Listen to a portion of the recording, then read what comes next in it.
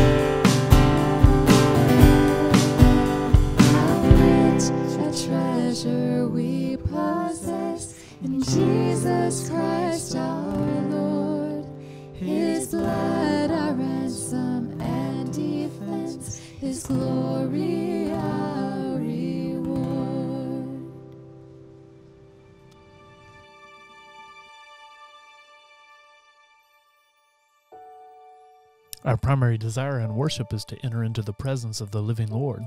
And in order to do that, we confess our sins. So pray with me. Heavenly Father, you have delivered us from the dominion of sin and death and brought us into the kingdom of your beloved Son. Grant that as by his death he has called us to life, so by his love he may he may raise us to eternal joys, who lives and reigns with you in the unity of the Holy Spirit, one God, now and forever. Amen.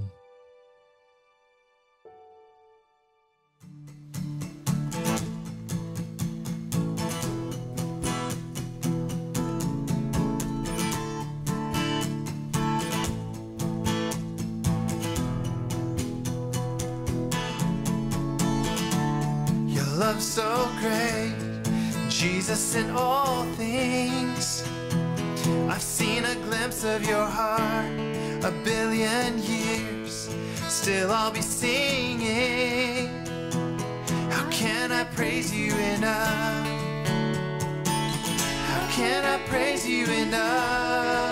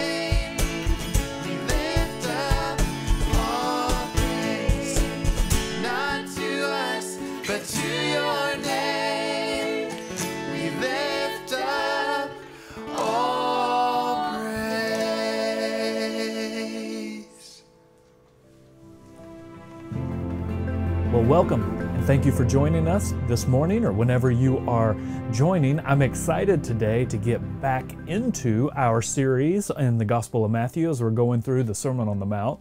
And we've come to the end of the Sermon on the Mount. We're in Matthew chapter 7. And we're going to look at verses 1 through 12 today. So if you have your Bibles, you can open up and turn there with me. And it's, it's probably going to be good just to remind ourselves of the basic structure and what the Sermon on the Mount is all about. Now, there are three main sections to the Sermon on the Mount. The first one it focuses on our doctrinal life and the authority of Jesus' word. The second one is on our devotional life and how not to be a spiritual hypocrite. And then this is part of this third section, our daily life, the authenticity of our walk. And in this section, the central focus is all about healthy relationships.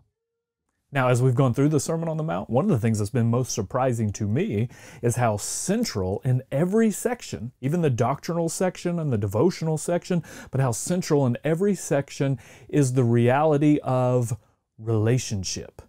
And one of the key themes is that the quality of your life will primarily be dependent on the quality of your relationships. And that's a theme that runs through every single section. And so, one of the most important things for you personally, for you in 2021, is to reconnect and reestablish and reaffirm and restore the central relationships in your life. You know, one of the great challenges of this past year is that all of our relationships have been significantly strained. Every relationship you have has some stress or strain that has been placed upon it. And that strain has caused some relationships to break and has caused others to be strengthened. And one of the things that we're going to repeat all throughout this this coming year is that one of the biggest needs that we all have is to reconnect relationally. And the Sermon on the Mount is such a beautiful prescription for healthy relationships. And so, one of the most important questions you can ask is what do healthy relationships look like? What do healthy relationships with God, what does that look like? What does a healthy relationship with God look like? What does a healthy relationship with myself look like? What does a healthy relationship with other people look like? What does a healthy relationship with people who are hostile to you, difficult people? What does that look like? And the most important thing in your life is healthy relationships with God, yourself, others. And the quality of your life will primarily be dependent on the quality of your relationships, not ultimately on the quality of your healthcare, the quality of your water, the quality of your air, the quality of your internet, or the quality of your kids' schools. The most important thing in your life is the quality of relationships. And so as we move into chapter 7, this is a great place just to remind ourselves of what the Sermon on the Mount is all about. But now, as we begin, you know, chapter 7 offers some unique challenges. And one of the challenges is the first verse in chapter 7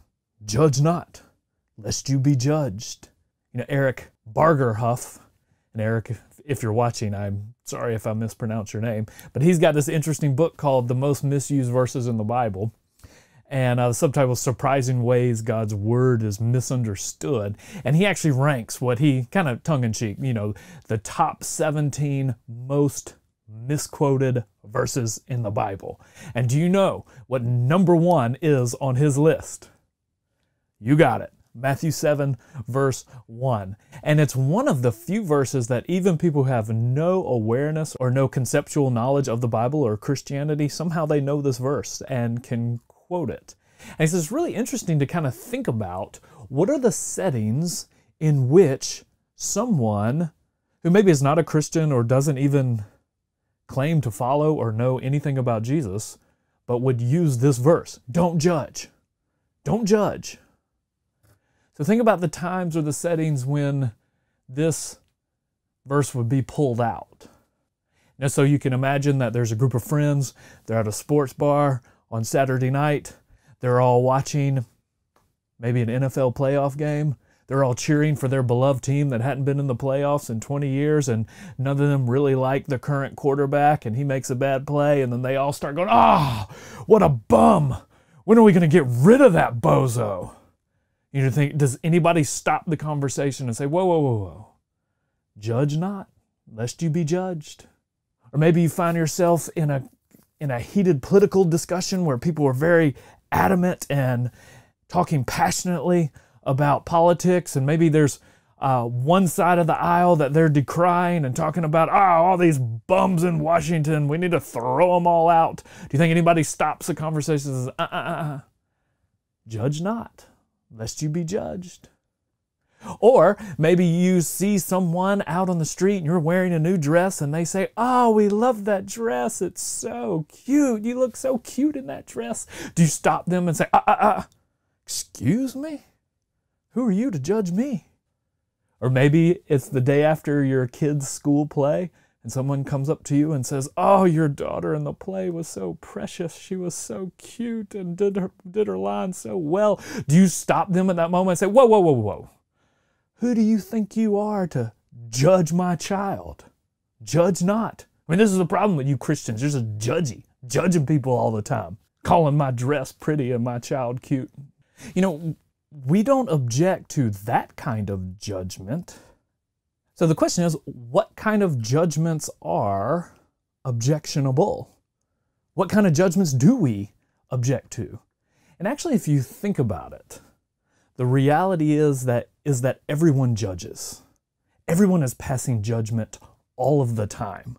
We all judge. The only question is in what spirit, by what criteria, what's the goal, do you actually judge? See, the real question is not will you judge, but the real question is what type of judge will you be? Will you be the type of judge who issues judgments that are true, that are wise, that are loving, the question is not will you judge, but what type of judge will you be? Will your judgments be tainted by appearances, or will you have the ability to look beneath the surface?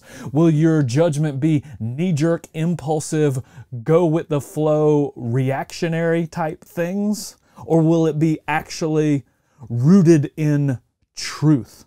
Will your judgments be the kind of judgments that are just simply meant to appease people, or are you genuinely seeking the full flourishing for as many people as possible. See, the question is not will you judge, it's just what kind of judge will you be? Will you be loving or condemning? Will you be wise or foolish? Will you be true or false? And what Jesus is going to give us here in verses 1 through 12 of Matthew chapter 7, in this part of the Sermon on the Mount, he's going to teach us the wise and loving art of speck removal.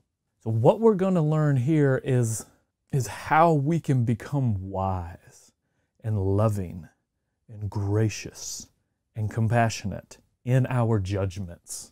And can you think of anything that our country needs more right now than sober, wise, compassionate people?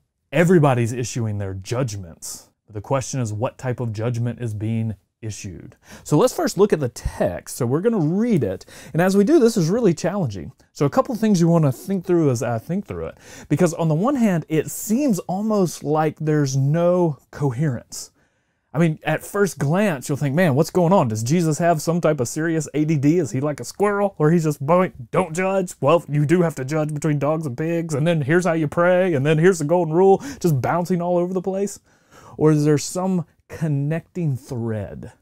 So listen, think, what is the connecting thread that's holding all of these things together? We're going to give Jesus the benefit of the doubt that he was a wise master teacher and he knows things that we don't. So you're going to look for the connecting thread. And as I read, try and listen for the key words. That'll give you some helpful context. And then you want to notice some of the movement. So judge not, that you be not judged. For with the judgment you pronounce, you will be judged, and with the measure you use, it will be measured to you. Why do you see the speck that is in your brother's eye, but do not notice the log that's in your own eye? Or how can you say to your brother, let me take out the speck from your eye when there's a log in your own eye. You hypocrite, first take out the log of your own eye, and then you'll see clearly to take out the speck out of your brother's eye. Do not give to dogs what is holy, and do not throw your pearls before pigs lest they trample you underfoot and turn and attack you. Ask and it'll be given to you. Seek and you will find. Knock and it will be opened to you. For everyone who asks receives, and the one who seeks finds, and the one who knocks it will be opened. Or which of you, if his son ask him for bread, will give him a stone? Or if he asks for a fish, will give him a serpent? If you then who are evil know how to give good gifts to your children, how much more will your Father who is in heaven give good gifts to those who ask him? So whatever you wish that others would do to you, do also to them. For this is the law and the prophets. So, a couple things, just notice the frame. Notice how it ends. This is the law and the prophets. And the major teaching block in this section started. The introduction in 5 runs all the way to verse 17. But then, chapter 5, verse 17, he says, Do not think I've come to abolish the law and the prophets. So, remember, that's an inclusio. That gives us the frame, the law and the prophets. This whole section from 517 all the way to 712 is actually going to frame what does it mean for Jesus to fulfill the law and the prophets. This is how we fulfill all of the commands of the Old Testament. So that's given us our frame. Now, did you notice some of the key words? How often did you hear the word brother? Your brother, your brother. And then when it turns to God, it's your father. So those are family words. It's in a family context. So brothers, sisters, it, that's talking about people who you love. They're a part of this new community that He's creating, your brother. But then did you also notice when it got down to the prayer section how often the word ask, ask, seek, knock, ask. Which of you whose son, if they ask, will he give him what he asked for? Ask. So this key thing, ask, ask, ask. So the connecting thread that's running through this, it seems to be disjointed, but the key connecting thread is the key connecting thread of the whole sermon. It's all about relationships your relationship with God? Do you see Him as Father and do you come to Him and you ask something specific? Do you ask things of Him? Your relationships with outsiders, hostile outsiders, how do you deal? with that's what he calls the pigs and the dogs. How do you deal with outsiders? And then how do you deal with difficult relationships with brothers, family, people that you are close to? So, in many ways, this passage is like a beautiful flower that you kind of have to un, unwrap. I don't know, do you unwrap flowers or unfold? And the core is your relationship with God in 7 through 11. You see Him as the Heavenly Father who you go and you ask. And we'll come back to this next week. But this is so important because if that relationship is right at the core, everything else will bloom and flow out of it. And the key thing he's going to say is you have to ask, you have to seek, you have to knock. There is something specific you are supposed to pursue from your Father. You're supposed to ask Him. And if you disconnect this from the context, it could come across as if Jesus is just giving us prayer like it's Aladdin's lamp. Like, here's your three little rubs where you ask, you seek, you knock, and you get your wishes. He'll do whatever you ask Him. But that's not the point. That's not the context. You're supposed to you're supposed to read it in context and think, all right, there's something very specific, a very specific good gift that I'm supposed to ask for the Father. So there's something I really need help doing. And that's what he talks about, you know, the good gift, your heavenly Father who will give you the good gift. And I think the good gift he's talking about is the wisdom to make true, wise, and loving judgments the ability to see others as they really are and to see ourselves as we really are, the ability to remove the log out of our own eye so we can help remove specks out of their eyes. And that's how the golden rule uh, factors into this. It's a great summary of the whole sermon, but the way it fits into these preceding verses is nobody wants done to them what he's critiquing in verse 3 and 4. Nobody likes it when somebody who's self righteous and oblivious and uncaring and condemning and a great hypocrite condemns them from a distance. Nobody likes that. So Jesus is saying, don't do that to others. See, he's assuming the family context. You're with your brothers and sisters, and he's assuming you're going to have relational difficulties. And see, how you deal with difficult people and difficult situations will be one of the most determining factors in the quality of your life. If the quality of your life is primarily dependent on the quality of your relationships, your the quality of relationships is primarily going to be dependent on the skill and the wisdom do, in which you judge people and their actions. And for that you need, I need, we need God's help. We need his help. And there's three things that we're going to unpack this morning where we really need His help. That's why we're supposed to ask, seek, knock, go after these things, beg Him for it. And we have to ask Him, we have to seek from Him, we have to beg Him to open up to us, to help us, so we can see ourselves clearly, so we can deal with outsiders wisely, and then so we can operate on others gently. So let's think about these things, three things, and ask God to help us do these things. First, we need God's help to see ourselves clearly. We need to ask for that. And there's two things that we need help to see clearly. We need to clearly see the scales that we use and the logs we have, the scales of justice. You, have that command that's so misused the command, judge not. And you think, all right, what does this mean? Well, there are certain things it can't mean. Like it can't mean, you know, for example, many anarchists have loved this passage and said there should be no courts and no police or things like that. Uh, Leo Tolstoy said that. But it, it doesn't mean that because that would fly in the face of the rest of the Bible. And then it also doesn't mean you can't use your critical faculties, that you're not supposed to actually make any type of evaluation. You know, I'm sure there's been many um, sassy, smart alecky Christian school kids who, I don't know why I didn't think of this when I was a kid, when you were given a multiple choice test and you say, whoa, whoa, whoa, I can't do this. Jesus has told us to judge not. And choosing which answer is right on this test would be me judging. So I'm not supposed to do that. Well, no, that's not what he's talking about either. What the calling here is the calling to not be a hypocrite in your relationship with others. We've seen that all throughout chapter 6. Remember, don't be a hypocrite in your relationship to God. And the way you're a hypocrite in the relationship to God is you do things primarily to be seen by others, not for Him, but for others to be seen and praised by them. Now, this is going to unpack what it means to be a hypocrite in your relationship to other people. And what I think is getting at is that hyper hypocrite, the hyper critical spirit, the spirit of judging with harshness. To judge harshly. I think the idea here is that what you do, what's being condemned, is when you put the worst construction on someone's motives. Or you're always pouring cold water on their ideas, or you're ungracious towards their mistakes, when things were reminded all throughout the New Testament, we're servants, not the judge. That's what Paul talks about in Romans 14. Who are you to judge? Another man's servant. In 1 Corinthians, I don't judge anyone, even myself. I let God do that. But the command is not to be blind, the command is to be gracious. In one sense, this is summarizing the type of person that the whole Sermon on the Mount is trying to create. Like if you live out the Beatitudes and those are your character and you recognize that blessed are the merciful, they, they show mercy.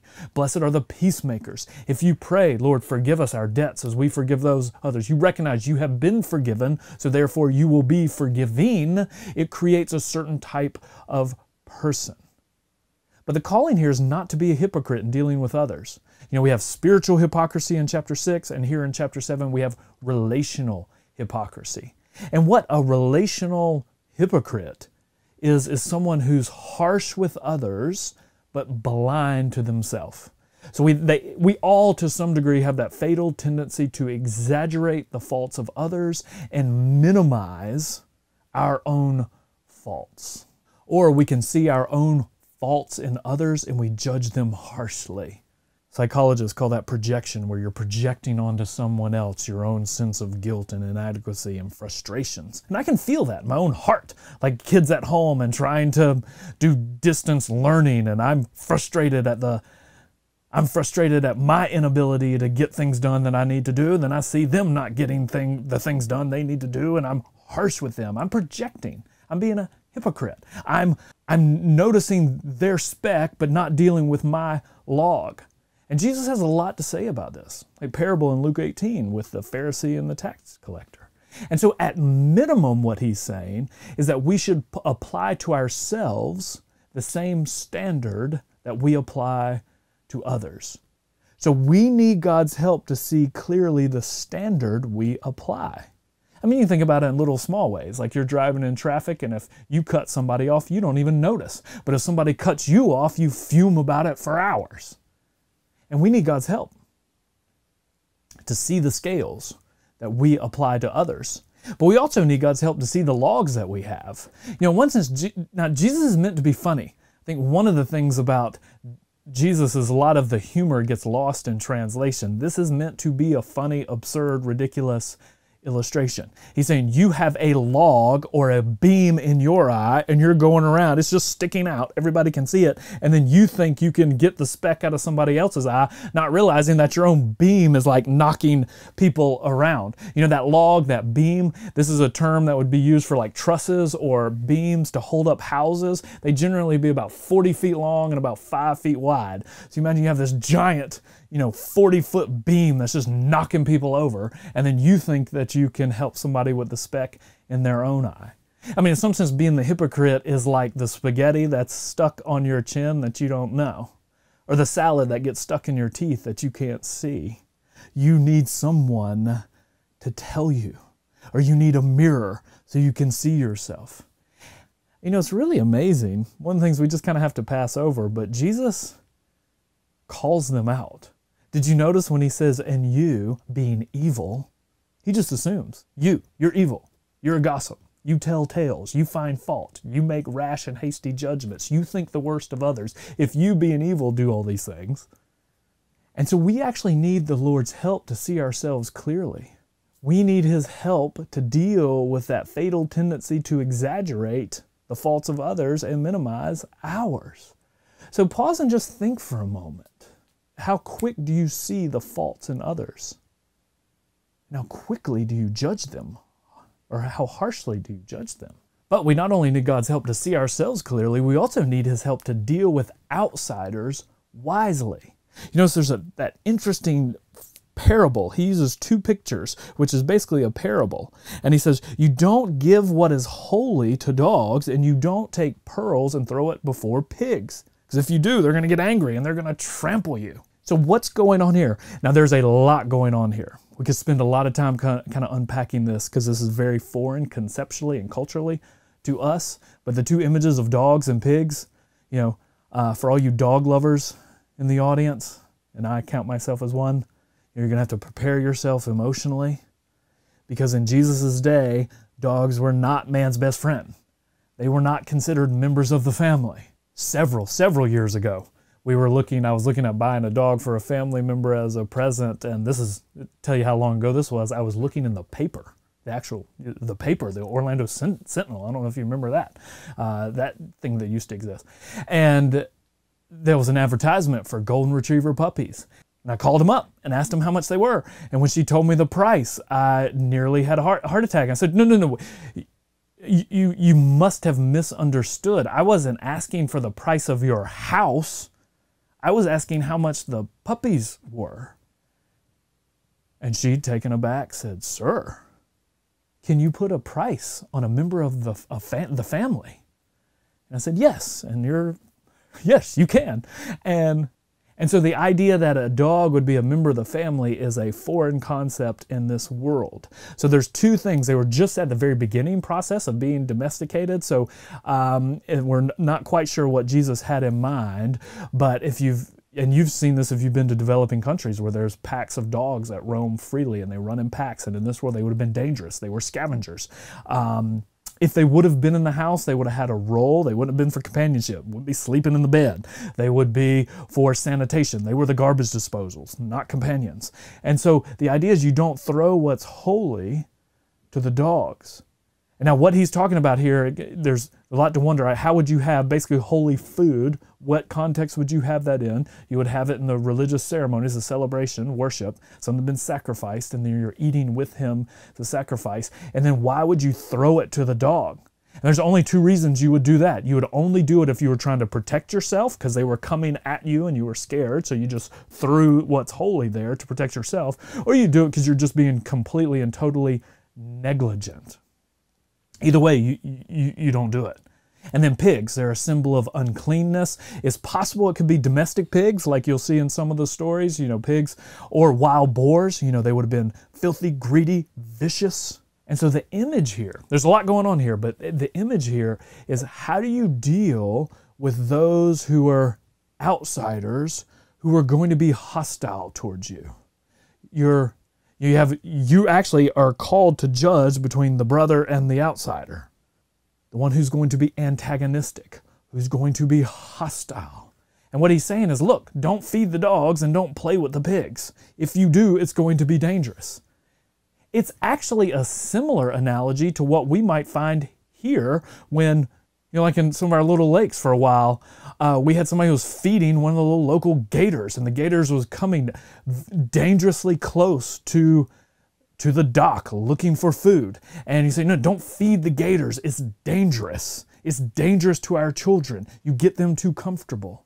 To dealing with dogs and pigs, I think one of the things Jesus is saying, if you're going to deal with people who are going to be hostile towards you, you need wisdom. You need wisdom. You need to not be insensitive. You need to not be oblivious. You need to not be careless. You need to not be reckless. You have these two images. The pearl is something that is priceless. It's an image in another parable for the gospel and the kingdom. It is precious. It is priceless. And you are not indiscriminate with it. And what's holy is that's what's been sanctified and set apart. So, at the very least, what this is teaching us is we need to ask God for the wisdom to deal with those who are going to treat us with hostility. But then the third thing we need is we need God's help to we need God's help to operate on our brothers or on others gently. You know what's interesting? What he does not say is Jesus does not say, judge not, so just mind your own business. Don't meddle. See, what this command is not is it is not a cover for moral laxity. It's not an excuse for indifference. He actually gives you a pathway. He says, first, you have to take out the log out of your own eye. You deal with yourself first. And then once that log is out, now you can see clearly, and you have a responsibility to help your brother deal with the speck in their own eye. So you remove the log of this obsessive fault finding and critical spirit, and then you can help them with whatever speck they're dealing with. See, this is why we have to ask, because we have to ask God to help us have the proportions right. We, you recognize in your eye you have the log, and they have the speck.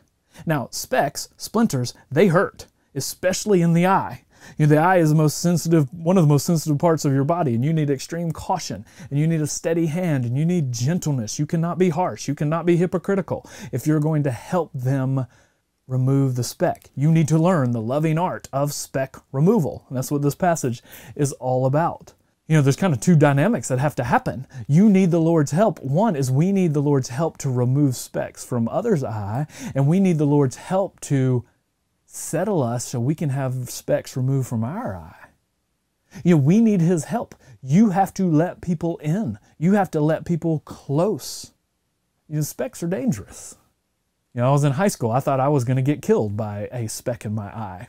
One day, driving home from school, I was driving around a corner down a country road, probably going a little too fast, had all the windows down, music was blaring. Somebody had just cut fresh grass and it was all along the road. And when I hit it with my car, it kind of flew up and some flew into the car and a little piece of grass got into my eye. And instantly, I kind of jerked and, and sure, and I thought, you know, nearly ran off the road. And as I was driving home, I thought, you know, that'd be perfect. You know, man dies from killer blade of grass. You know, what a way to go. And specks can be dangerous. I mean, they're not just dangerous, they can they can really hurt.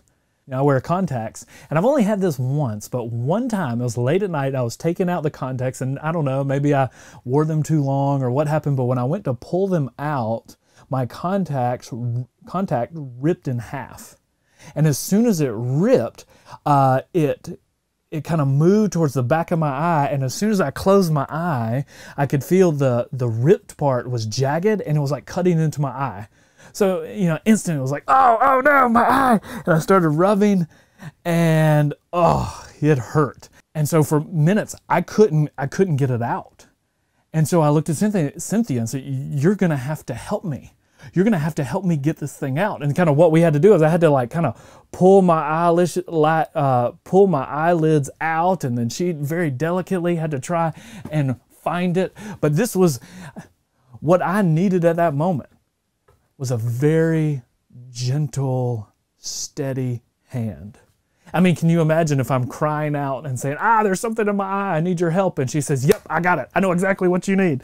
And she whips out, look, I got my chisel, got my hammer. Come here, we're going to pound that bad boy out. Or she says, yes, come here, let's go. I'll help you cut that thing right out. Here you go, come on over. I got my knife. You know, none of that would be very helpful. What I need at that moment is someone who's not harsh and insensitive. I need someone who's gentle. And if we're going to help our brothers and sisters get the speck out of their eyes, we have to be gentle. But we also have to have the humility and the help to let them in and to let them help us. So, how does this all fit? This all fits because it's showing that the most important thing in your life is relationships. And one of the key determining factors of the quality of relationships is how are you going to deal with difficult people? What type of judgments are you going to make? You're always making judgments. Now, will those judgments be clear sighted?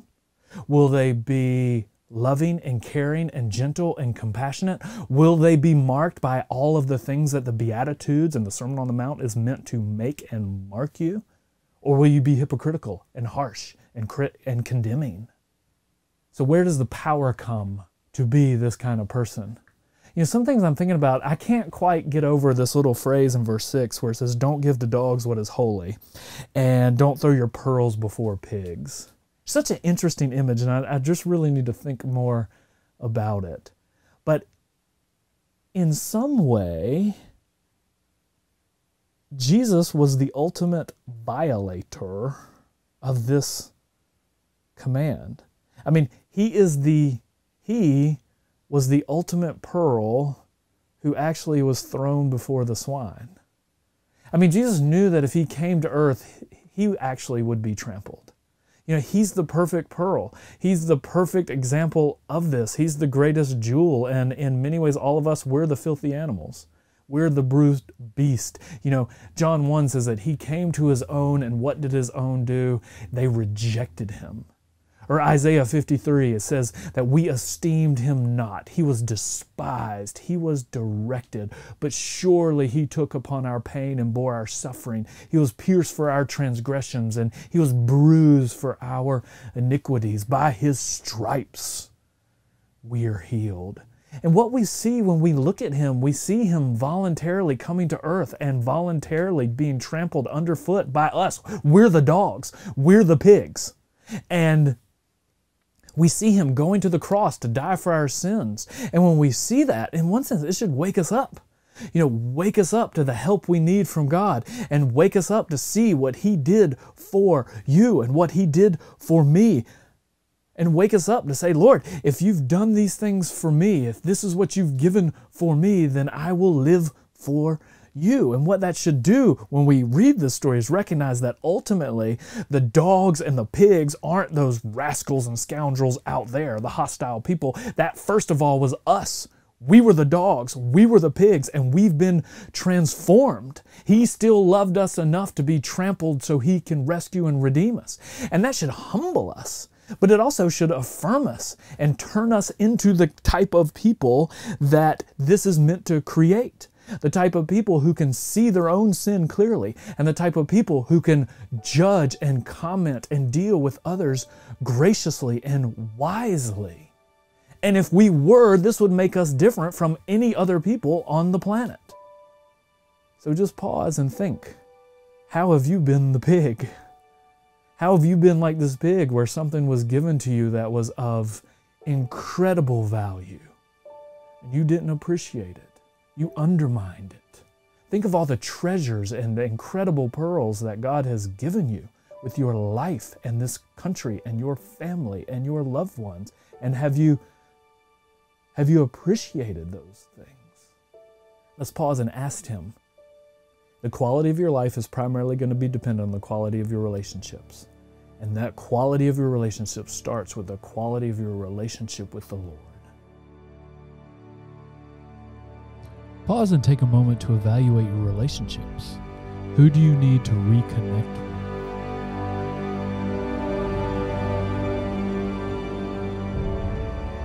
Now let's take a moment and pray. Let's pray for trust in times of worry and anxiety.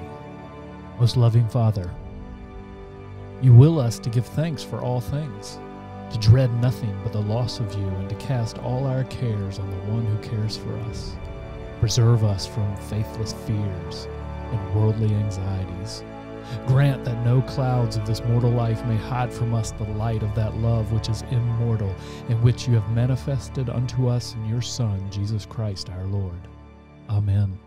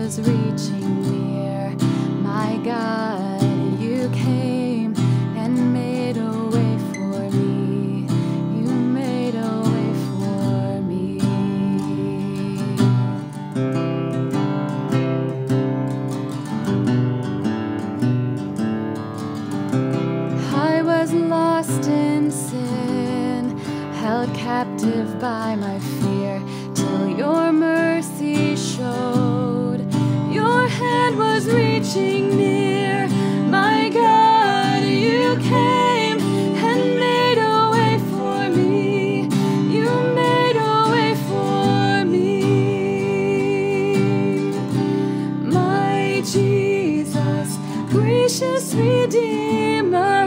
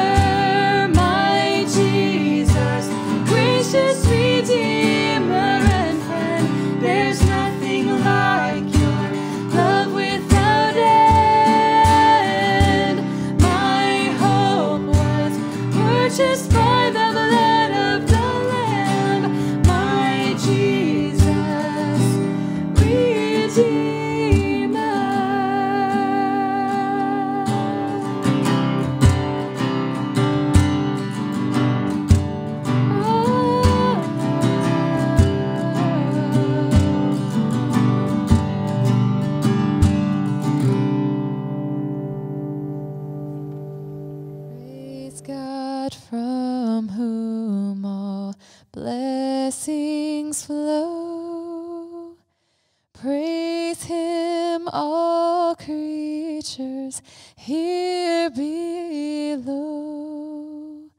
Praise him above ye heavenly hosts. Praise Father, Son, and Holy Ghost. Amen.